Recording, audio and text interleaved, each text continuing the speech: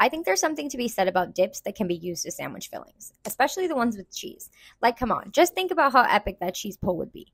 Welcome to episode 5 of my Cheesy Melt series, where I'll be sharing as many combinations as I can come up with. Here's my take on the sandwich version of spinach and artichoke dip. It took me about 10 minutes to throw together and gave me all the same vibes and satisfaction as the dip, probably because the filling was essentially the unbaked version. But all that aside, this is probably one of my favorite sandwiches in this series. It's hearty, spicy, tangy, and overall just hits. Did I mention it's super easy?